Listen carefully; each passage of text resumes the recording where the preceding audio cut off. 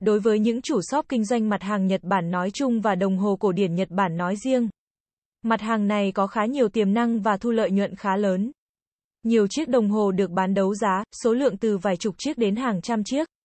Với giá nhập khá thấp, muốn đấu giá đồng hồ Nhật cũ hàng còn mới 90% thì làm thế nào? Thương hiệu đồng hồ Nhật Bản rất đa dạng. Bao gồm từ bình dân tới cao cấp.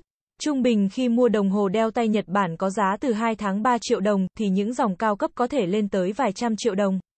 Tùy sở thích và điều kiện tài chính, khách hãng hãy lựa chọn chiếc đồng hồ phù hợp nhất. Nếu có cơ hội đến Nhật Bản, bạn có thể tìm đến các trung tâm mua sắm, các store, các cửa tiệm chuyên bán đồng hồ chính hãng để lựa chọn cho mình những sản phẩm ưng ý.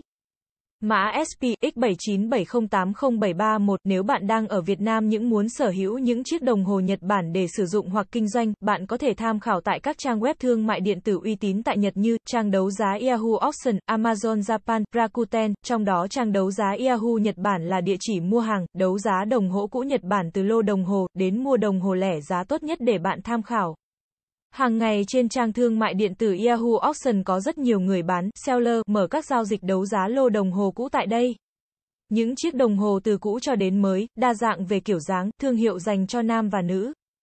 Số lượng mỗi chiếc đồng hồ từng lô dao động từ hàng chục tới hàng trăm chiếc, mã SP F10013138867. Nếu bạn là người trong nghề, nhìn hình ảnh và mô tả sản phẩm có thể biết được có nên tham gia đấu giá lô đồng hồ Nhật cũ kiếm lời hay không.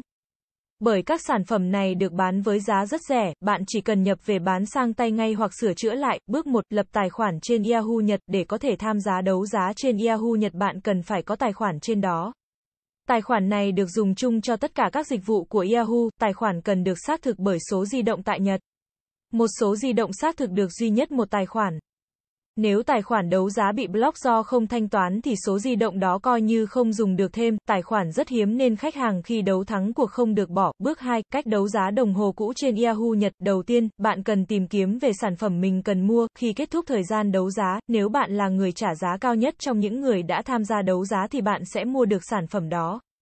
Bước 4, giao dịch sản phẩm, trong trường hợp bạn là người đấu giá thành công, người bán sẽ liên hệ theo thông tin mà bạn cung cấp. Hai bên sẽ thỏa thuận về phương thức giao nhận hàng và chi phí vận chuyển hàng. 2. Cần lưu ý những gì khi đấu giá đồng hồ trên Yahoo Nhật, cần lựa chọn shop uy tín có thuế tiêu Nhật, cửa hàng đoàn hoàng, có uy tín, chọn shop hoặc người bán có tỷ lệ đánh giá cao. Với phiên giao dịch thành công nhiều, cần nhìn kỹ ảnh trước khi đấu để mua đúng hàng mình ưng ý. Với những đồng hồ lô cũ, cần chú ý về cân nặng khi vận chuyển về. Bất cứ thắc mắc nào về đấu giá đồng hồ cũ các bạn có thể gọi điện theo số hotline để được tư vấn 0983 131 528.